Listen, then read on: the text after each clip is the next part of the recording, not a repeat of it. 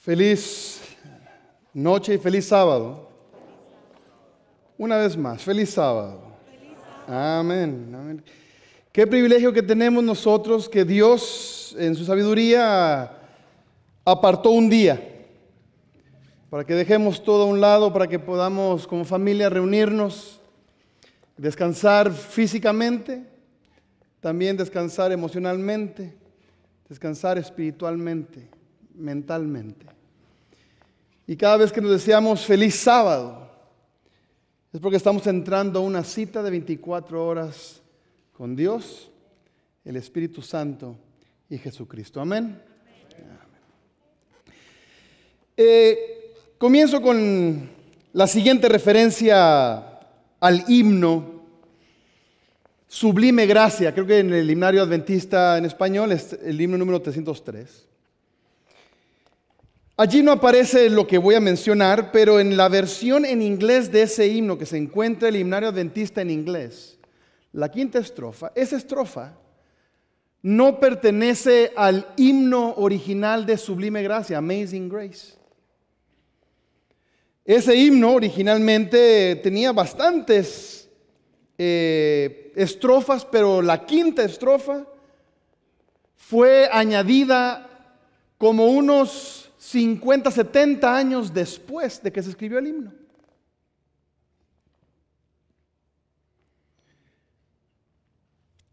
Resulta que por allí de los años 50 del siglo XIX, eh, se publicó un libro, una novela, que fue muy leída.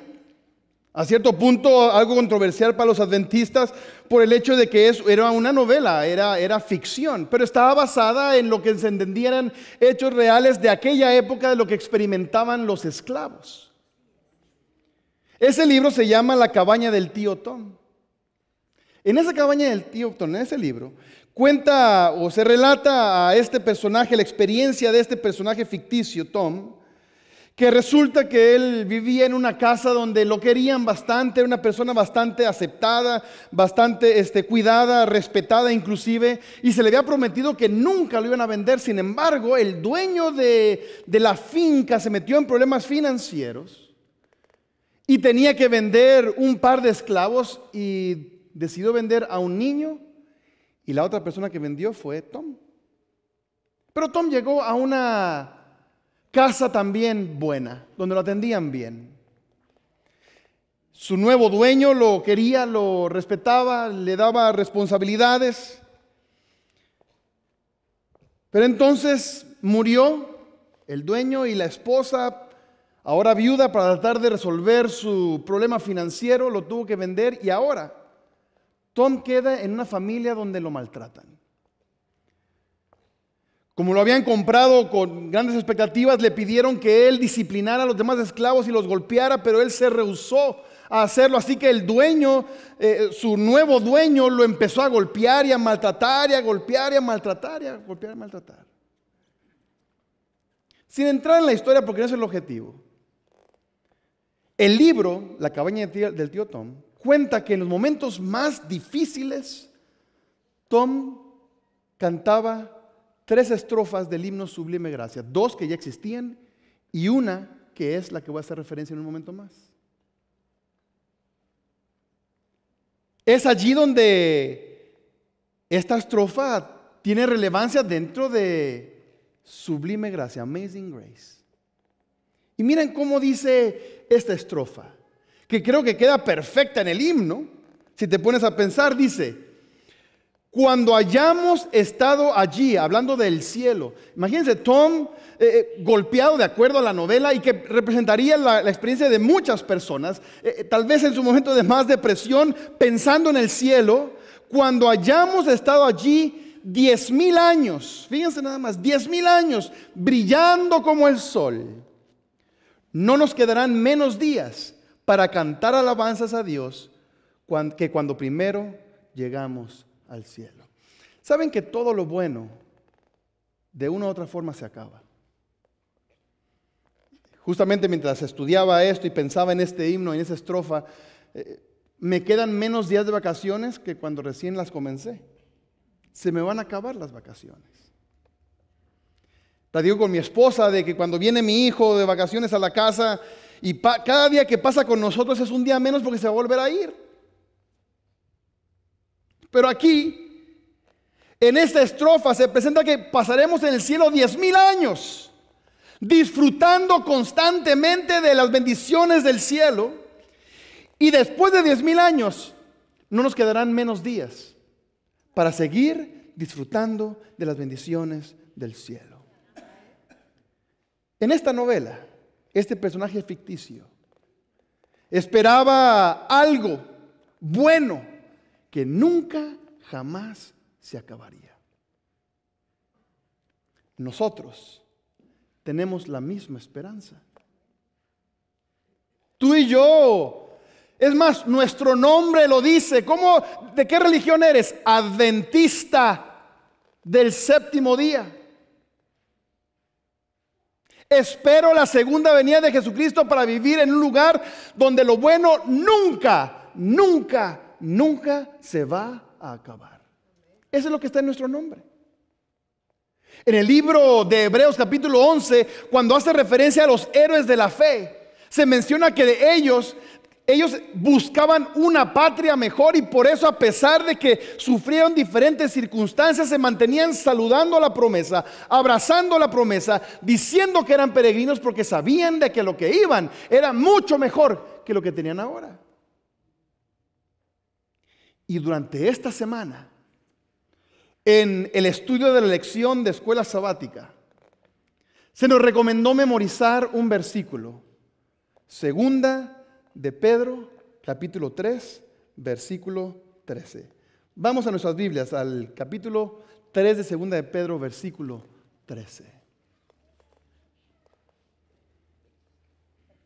Segunda de Pedro, capítulo 13.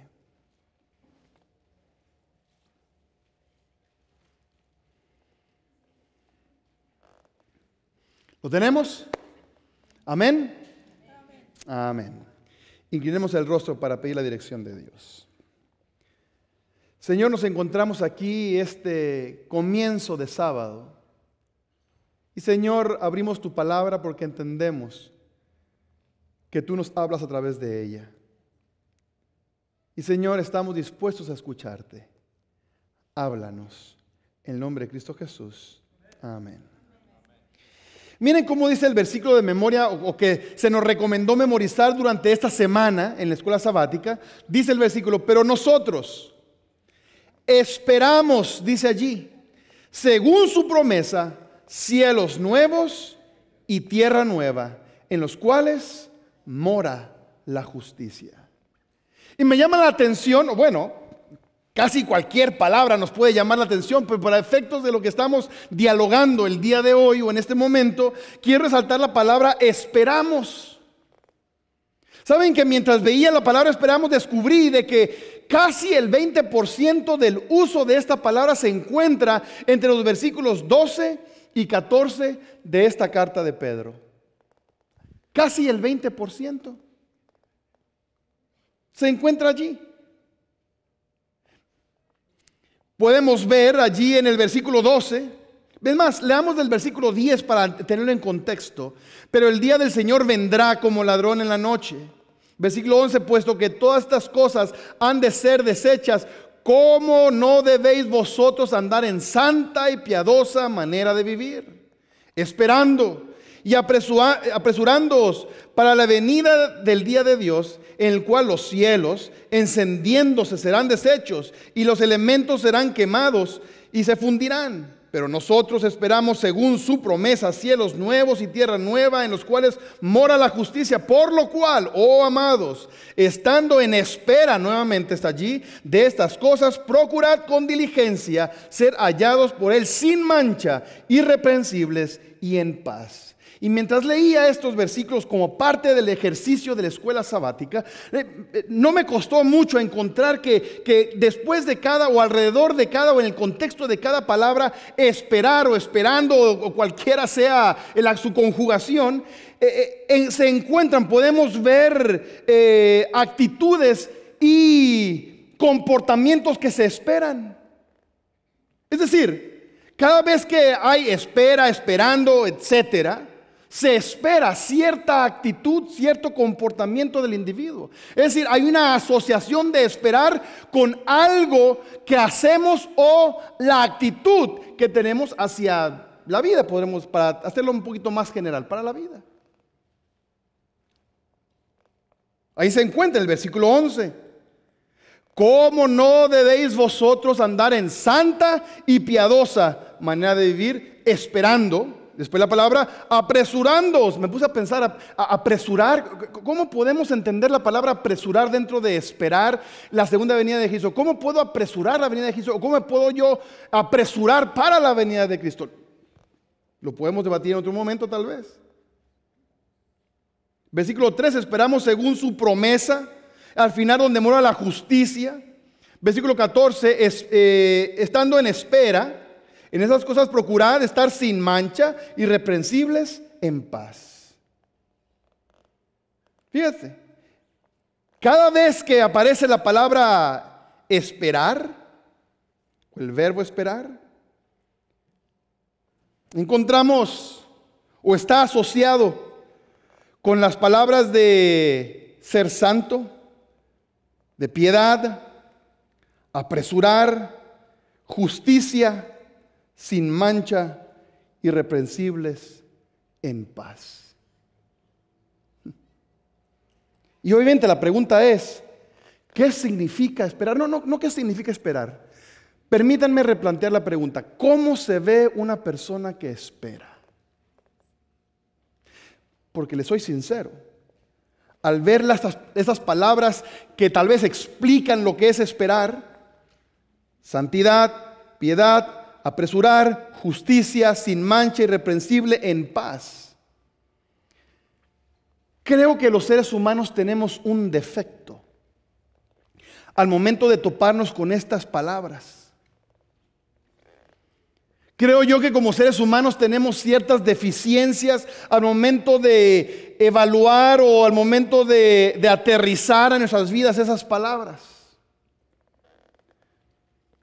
Y creo eso porque al final del día tú y yo somos personas que estamos manchadas o tenemos la herencia mejor de pecado y el sello más evidente del pecado es el egoísmo. Y tú y yo podemos entender estas palabras desde un filtro egoísta. Son las mismas palabras, pero de acuerdo a, mi actitud, de acuerdo al filtro que tenga para ver esas palabras, puedo llegar a conclusiones diferentes. Y si yo permito que el egoísmo sea lo que defina lo que esas palabras significan, entonces santidad, entonces piedad, apresuramiento, justicia sin mancha, irreprensible y en paz puede llevarnos a una, a una actitud, a una vida completamente diferente a lo que la Biblia nos presenta que hagamos. Una evidencia bíblica eran los fariseos que sabían este libro de memoria. Los sacerdotes sabían esto. Inclusive Jesucristo hizo una parábola o presentó una parábola con respecto a este elemento del egoísmo y qué significa esperar y qué significa ser santo, qué significa ser piadoso. Y lo encontramos en la eh, parábola del buen samaritano donde un sacerdote, un levita, tiene actitudes completamente diferentes al samaritano. El egoísmo puede llevarnos a conclusiones que son ajenas a la intención divina en este libro. Y puedo empezar a tomar actitudes de empezar a compararme qué significa ser santo. Soy más santo que, que, que, usted o soy más santo que aquel y comenzamos a compararnos y aquel no es tan santo, por tal motivo no debe de estar o sí debe de estar y comenzamos a medirnos quién es más santo, quién es más piadoso, quién, quién tiene menos mancha, quién es irreprensible, quién vive en paz y empezamos a tener ese, e, esa discusión porque tenemos la actitud de los mismos discípulos cuando estaban discutiendo quién iba a ser el, el que tenía el puesto más alto dentro del gobierno de Jesús. Jesucristo, porque el egoísmo forma parte, eh, de, podemos decirlo, integral, casi indivisible del ser humano.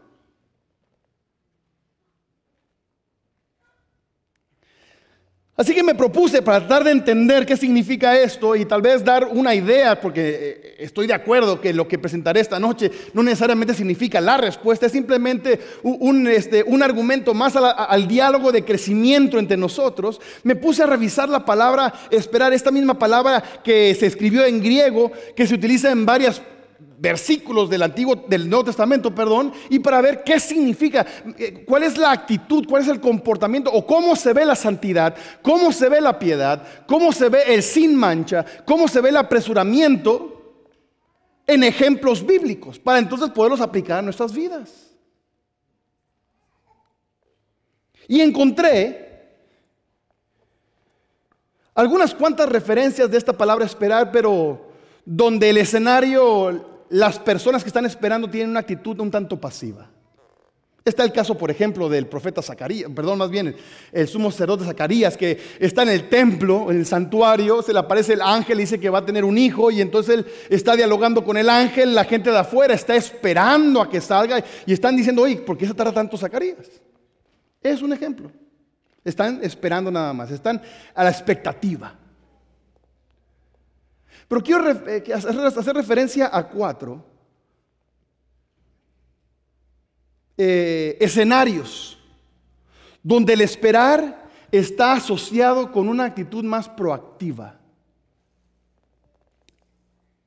Hago referencia pronta, por ejemplo, a Juan el Bautista, que cuando se encuentra en la cárcel, Comienza a cuestionar tal vez su ministerio, quiero pensar, no sé, y entonces, a pesar de que Jesús lo, lo menciona como la persona, la mejor persona nacida de mujer, y entonces manda a sus discípulos a preguntarle a Jesús, ¿eres tú el Cristo? ¿O debemos de qué? Esperar. Y me pongo a pensar, ¿qué significó para Juan el Bautista esperar? ¿Cómo esperaba Juan el Bautista al Mesías?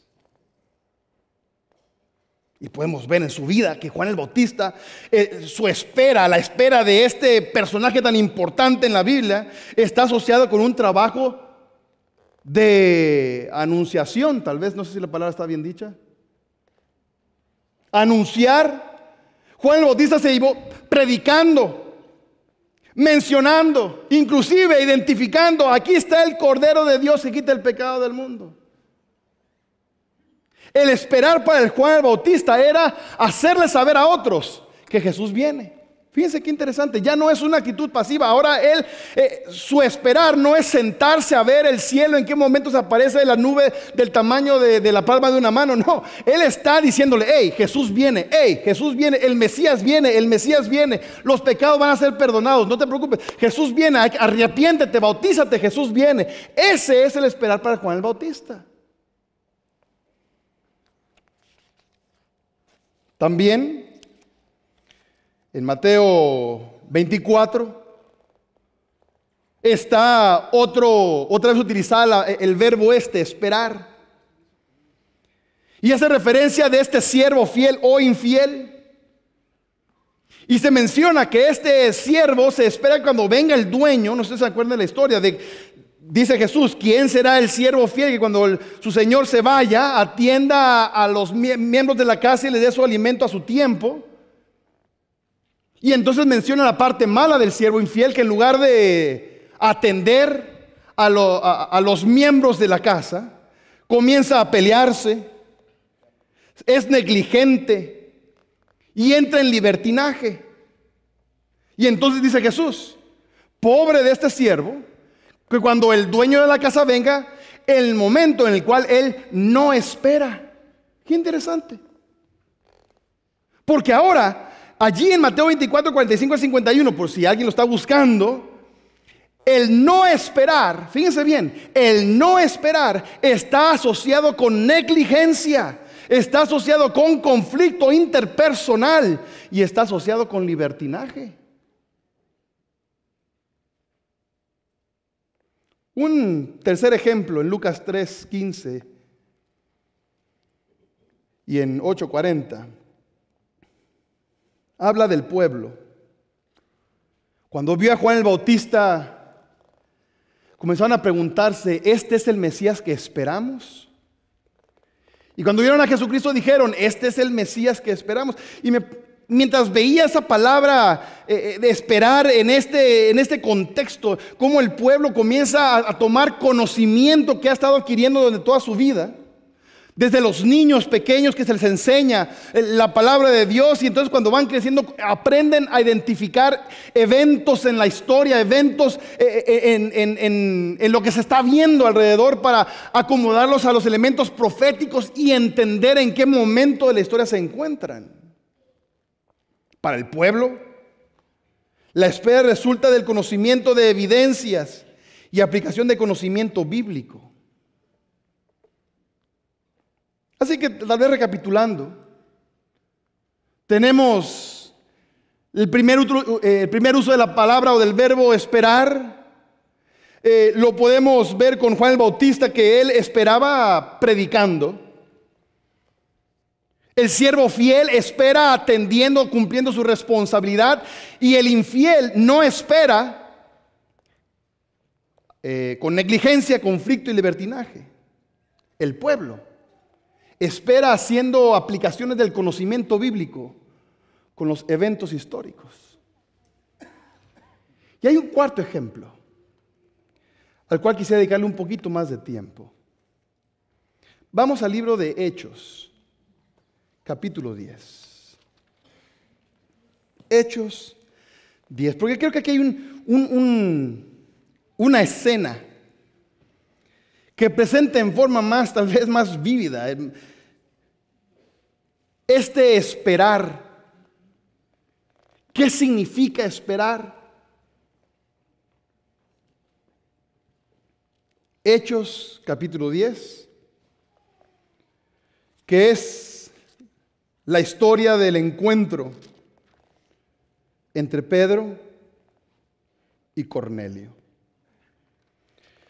Haré referencia a algunos versículos, ustedes pueden seguir la historia, pero para entrar en contexto, resulta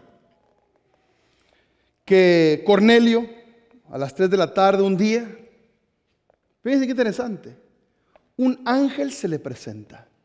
Para, mí esta historia es bastante reveladora.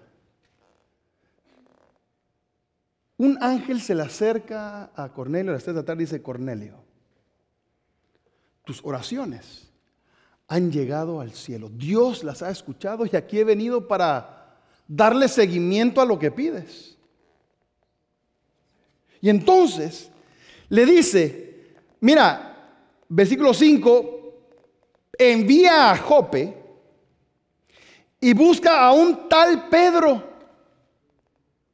Ese Pedro te va a hablar acerca de mí.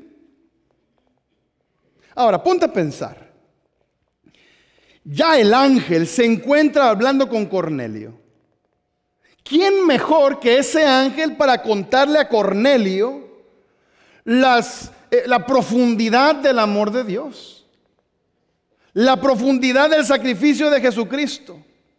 Las verdades del reino de Dios. ¿Quién mejor que ese ángel? Porque si yo les hago la pregunta siguiente y son sinceros, van a responder que es mejor un ángel que les predique el sermón de esta noche que a un servidor.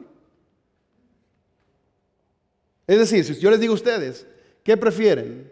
¿Que un ángel les predique o que un servidor les predique? Pues un ángel, dijo el hermano. Usted es una persona honesta. O que viniera Jesucristo y nos predique o que les predique yo. Y el ángel le dice a Cornelio, Cornelio, mira, escuchamos tu oración. En el cielo ya tenemos registrado todo. Y queremos que sepas más. Pero yo no te lo voy a decir. Manda por Pedro. Pedro. ¿No había un mejor evangelista que Pedro? Pedro el que negó a Jesús tres veces, ese Pedro. O el Pedro que en Gálatas Pablo dice que tuvo que confrontarlo en forma, en frente de todo mundo porque era un hipócrita. Ese Pedro había que llamarle. No había una mejor persona, no. Es decir, en el mundo de aquella época no había un mejor predicador que el ángel consiguiera. Porque miren, eh, eh, como pastor de iglesia, a veces eh, la iglesia me pedía un predicador y, uno está el predicador y el predicador dice, este, le gusta a la, iglesia y la gente dice, amén, qué bárbaro, ese pastor nos trae puros pastores buenos.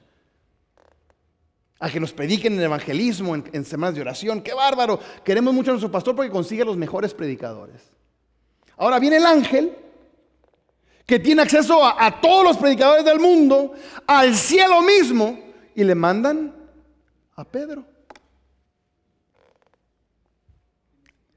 Ahora, ponte a pensar, o, a ver si nos podemos meter en esa escena de Pedro cuando Pedro llega a la casa de Cornelio. Vamos al versículo 24 del capítulo 10 de Hechos. Al otro día entraron en Cesarea y Cornelio los estaba esperando. Ahorita regresaremos allí.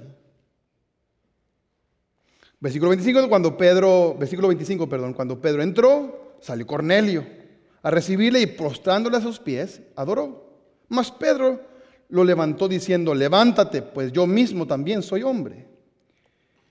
Y hablando con él entró y halló a muchos que estaban reunidos.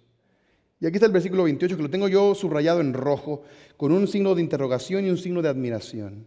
Y les dijo, vosotros, Pedro hablando, a los que están reunidos allí, vosotros sabe, sabéis cuán abominable es para un varón judío juntarse o acercarse a un extranjero.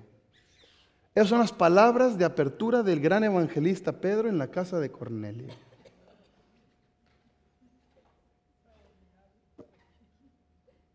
Yo no sé qué nacionalidades hay en este lugar, pero voy a... ¿Hay aquí algún suizo? entonces utilizaremos un suizo. Supongamos que el pastor de esta iglesia, Castañeda, se junta con la junta directiva y eligen al pastor fulano que viene desde Suiza a predicarnos una semana de oración. La iglesia está contenta, está emocionada. Aquí es ese trabajo con los muchachos y con la comunidad para que vengan a escuchar a este gran pastor suizo que va a predicar. Llega el día, la iglesia está a reventar. Inclusive a gente, afuera hay, pantallas porque la gente no cabe, para que la gente pueda escuchar y por todos lados, eh, eh, la televisión, tenemos los ratings de la televisión están por, por las nubes porque todo el mundo quiere escuchar a este pastor, predicador evangelista suizo. Se para aquí el pastor suizo y dice, bueno, Vine porque pues ni modo, me tocó venir. La verdad que los mexicanos no me caen bien. He escuchado varias cosas de ustedes. La verdad que ahí nos burlamos de ustedes. Pero bueno, Dios me mandó aquí. Miren cómo dice aquí. A mí me ha mostrado Dios, versículo 28, que a ningún hombre llame común o inmundo. La verdad que se ven medio inmundos, pero bueno. Abramos la Biblia. Dios nos ama. ¿No había un mejor predicador? Lo regresamos, pues sí. Imagínense. Esas son las palabras de Pedro. Y me llama la atención porque la Trinidad completa, Dios Padre, Dios Hijo y el Espíritu Santo están involucrados en esta escena. Están tratando de que estas dos historias eh, se junten porque mismo Pedro reconoce que cuando él está en la azotea orando y que entonces ve eh, este, en visión el lienzo que baja con todos esos reptiles y cuadrúpedos y se le escucha la voz que dice mata y come y él dice no, no puedo comer porque es inmundo. Cuando termina la visión, dice ahí el texto que el Espíritu le dice, hey, ve allá abajo, porque está en la azotea, ve porque se están buscando. Es decir, el Espíritu Santo también está involucrado en la escena. El Espíritu Santo no puede predicarle a Cornelio. Imagínense. Dios el Padre escucha las oraciones. Un ángel va y habla con Cornelio. El Espíritu Santo habla con Pedro. Jesucristo es el tema de discusión. Y resulta que la persona elegida para traer el Evangelio a Cornelio es Pedro.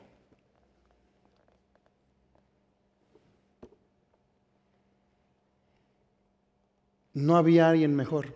Saben que esa historia me gusta a mí porque de esa forma uno se puede sentir bien con su ministerio. Si Dios eligió a Pedro, ¿por qué no me va a elegir a mí entonces? Trae paz al que hace la voluntad de Dios. Porque claro, siempre habrá alguien mejor que lo haga que usted. Cualquier cosa que hagamos. Aquí está el detalle que quiero presentar hoy. El versículo 24 para mí es clave en lo que quiero compartir el día de hoy. Al otro día entraron en Zarea y Cornelio los estaba esperando. Y fíjense lo que dice después, habiendo convocado a sus parientes y amigos más íntimos. ¿Cómo esperaba Cornelio este encuentro de salvación? Habiendo convocado a sus parientes y amigos más íntimos íntimos. ¿Te das cuenta de la dinámica de la espera? Ya no es egoísta. La espera bíblica, de acuerdo como yo la encuentro en esos cuatro ejemplos y otros más que podríamos presentar, nunca es bajo el filtro del egoísmo, sino bajo el filtro del altruismo. O me gustaría utilizar la palabra si existiera desegoísmo. Cuando entonces ahora yo trabajo por el bien de otro y esa es mi forma de esperar la segunda venida de Jesucristo. Lo hermoso de, de esta historia es de que al final de la historia, si observamos ahí en los últimos versículos, Cornelio y sus familiares y amigos son convertidos. Pero eso no es lo más hermoso, sino que también Pedro es convertido. ¿Te das cuenta? Porque si el ángel le predica a Cornelio, porque si el Espíritu Santo le predica a Cornelio, porque si Dios le predica a Cornelio, Pedro no se convierte. Pedro se pierde como el racista que era.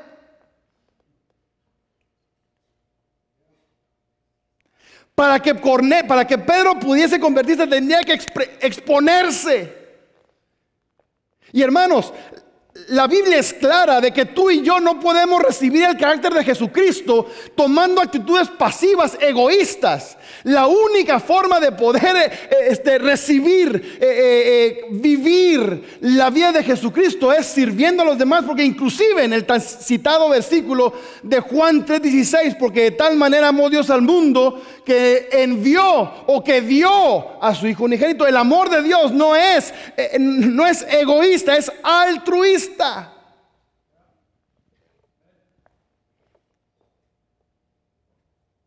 Miren lo que dicen esos siguientes tres citas de tres libros diferentes del Espíritu Profecía. Hechos de los Apóstoles, página 110. Miren, un hombre sujeto, como el centurión mismo, a las flaquezas y tentaciones humanas, había de ser quien le hablase del Salvador crucificado y resucitado. Pedro no era mejor que Cornelio, era igual que Cornelio. Y era él quien tenía que predicarle. Servicio Cristiano, página 223. Nada Fíjense qué declaración tan absoluta. Se nos enseñan a nunca decir nunca, ni siempre, ni nada, ni todo. Nada despierta el celo abnegado, ni ensancha y fortalece el carácter tanto como el trabajo por otros. Camino a Cristo, página 80. Los que así se consagran a un esfuerzo desinteresado por el bien ajeno, están obrando ciertamente su propia salvación.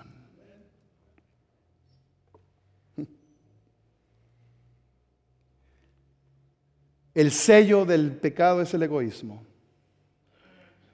El sello de Jesucristo, el altruismo.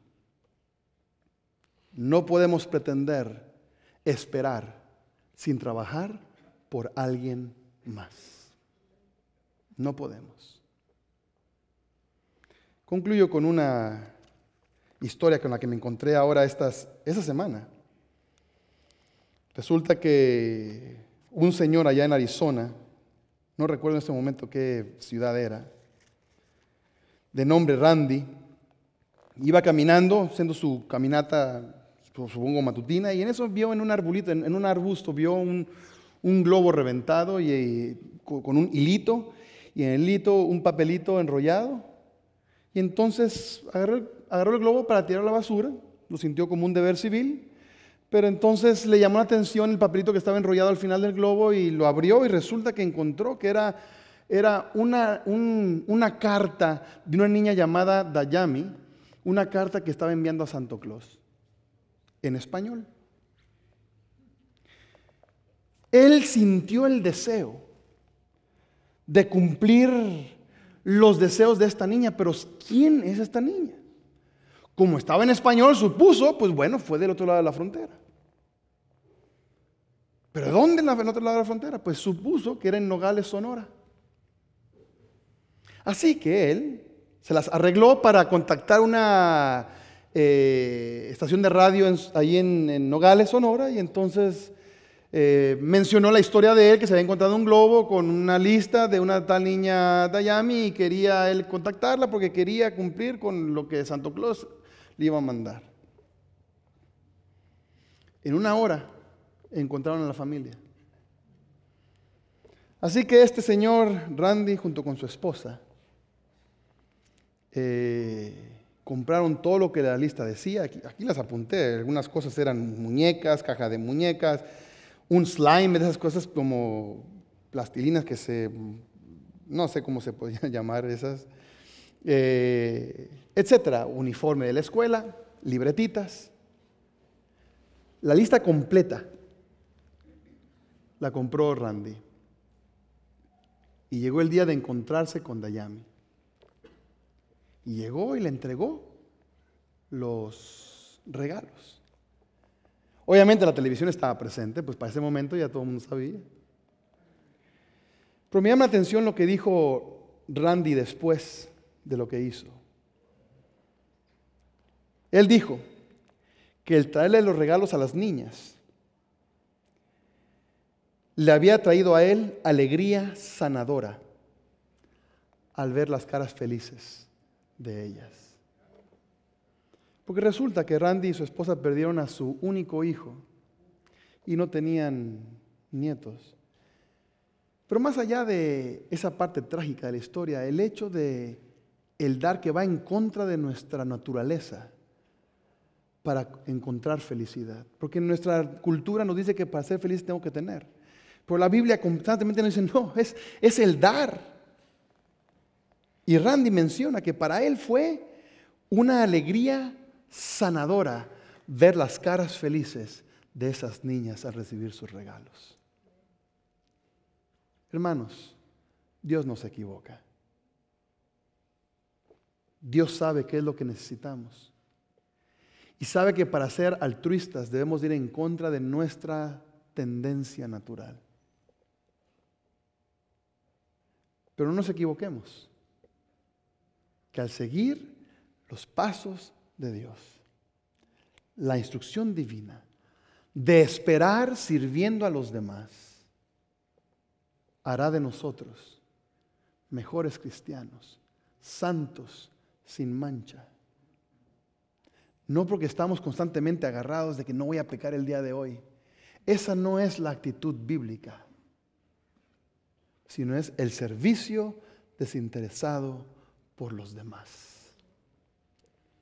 Aquí leo una poesía que en el himnario lo puedes encontrar en el himno 165, donde habla acerca de nuestra fe, de lo que esperamos.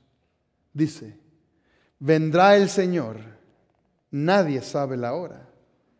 Del día anhelado se ve la aurora. Oh siervos de Dios, anunciad sin demora que muy pronto vendrá. Él vendrá. Esperad y velad, pues Él vendrá. Aleluya. Aleluya. En las nubes vendrá. Con sus huestes gloriosas. Sí, muy pronto vendrá. En el cielo y tierra se anuncia el portento de Cristo en su glorioso advenimiento. Oh pueblo de Dios, es solemne el momento, pues muy pronto vendrá. Velad y orad, con la vista alzada, salid y luchad con la santa espada. Id a trabajar con la fe reanimada, pues muy pronto vendrá, vendrá, Él vendrá. Esperad y velad, pues Él vendrá. Aleluya. Aleluya. En las nubes vendrá con sus huestes gloriosas. Sí, muy pronto vendrá.